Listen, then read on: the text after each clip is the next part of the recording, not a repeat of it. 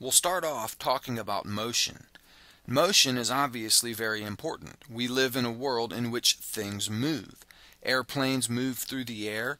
We move around on the surface of the earth if we drive around or walk around. Animals move around. In fact, the word animal is related linguistically to the word animate.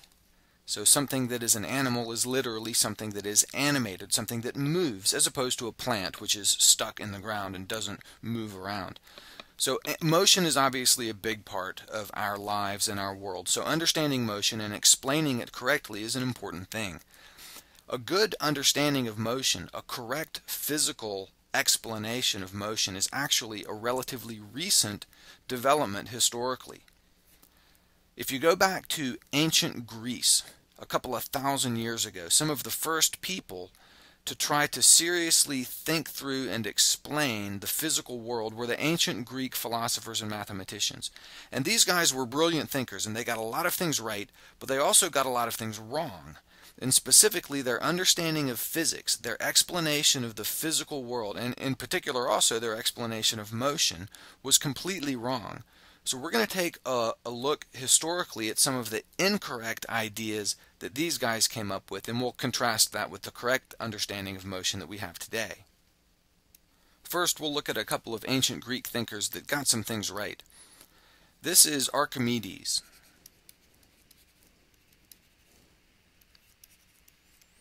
Archimedes lived a couple of hundred BC in the second century BC and he did several significant things. He explained buoyancy, that is, why things float, why some things sink and some things float. He explained levers and pulleys. These are, these are what we call simple machines. And in particular, these two things, levers and pulleys, allow us to increase the force which we exert on something.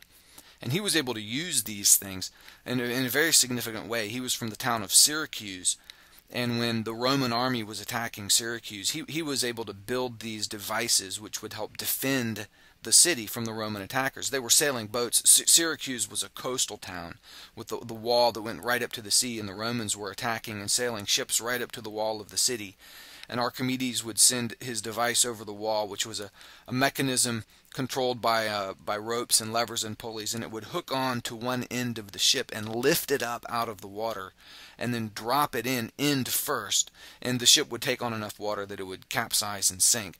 And the attacking armies thought this was magic. They had no idea that that just a few people could exert enough force to lift a ship out of the water. They couldn't conceive of that, but Archimedes was able to do it using these simple machines, levers and pulleys.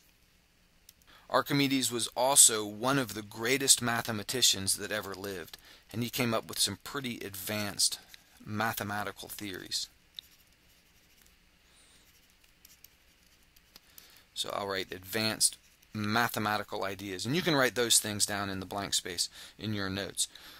Uh, he was, without question, the greatest mathematician of the ancient world and one of the greatest mathematicians of all time. Here's a picture of Thales, that's T-H-A-L-E-S, and it's Thales, not Thales. Thales was very old. He was actually he actually predates the Greeks. He lived in that general area, but this was even before Greece was known as a Greek nation. He was a very ancient um, philosopher, and he was the first to do early experiments with static electricity. And he also became pretty famous for accurately predicting an eclipse.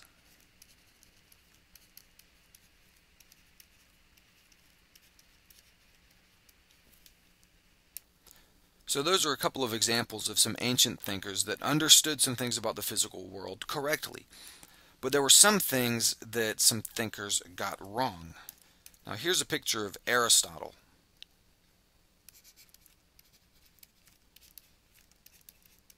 This is a picture from a painting from the Middle Ages, uh, much later. Aristotle lived in the 300s BC, and he is, without question, one of the most significant thinkers in the ancient world. In fact, there's some other names you might have heard of. Socrates. Socrates, a famous philosopher, Socrates was the teacher of Plato, and Plato was the teacher of Aristotle.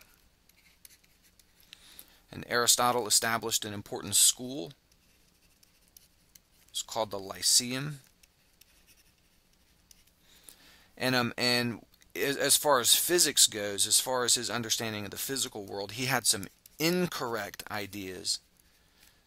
And this ends up being very significant. Incorrect ideas on motion, astronomy, and physics. In physics, in particular, his understanding of forces was incorrect. These are all very important topics as far as understanding the world. Uh, now, don't get the wrong idea. Aristotle was a brilliant philosopher, and his ideas have endured. In fact, you can go into a bookstore. You can go into Barnes & Noble or, or Borders Bookstore or get on Amazon or something right now and find books that he wrote that people still buy and read today. And it, think about how significant that is. This is over 2,000 years ago.